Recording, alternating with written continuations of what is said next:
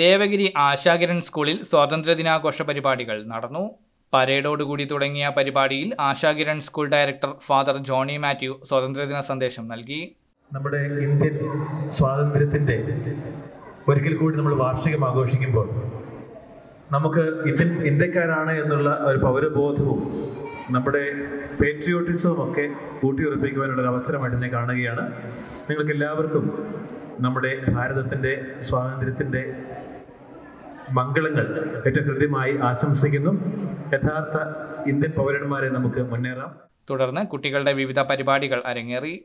കുളങ്കണത്തിൽ വിദ്യാർത്ഥികൾ ഒരുക്കിയ പോസ്റ്റർ പ്രദർശനവും നടന്നു. ഡ്രോയിംഗ് മത്സരവും ക്യൂസ് മത്സരവും ഇതോടനുബന്ധിച്ച് സംഘടിപ്പിച്ചിരുന്നു.